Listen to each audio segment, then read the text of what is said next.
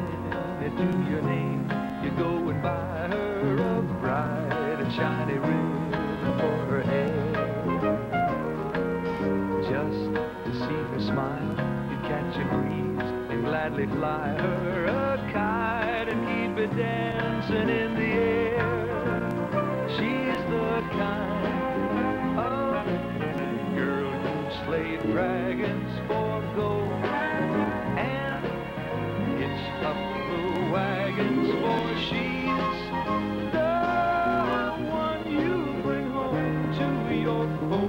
the family and let them see the kind of girl she is.